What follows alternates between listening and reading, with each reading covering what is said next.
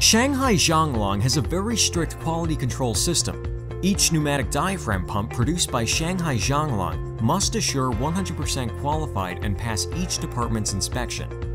From the first step to the last complete assembly, pump needs to go through detailed and accurate flow testing, stress testing, suction testing, pressure testing, and so on. Each procedure conducted strictly in accordance with high test standard. Shanghai Jianglang strictly test RV air-operated diaphragm pump at every step. Also, each pump must pass two special inspections, low pressure test and high pressure test. Low pressure test startup pump at 0.02 MPa air pressure. High pressure test pump at 0.3 MPa to 0.9 MPa. Both tests last at least 15 minutes.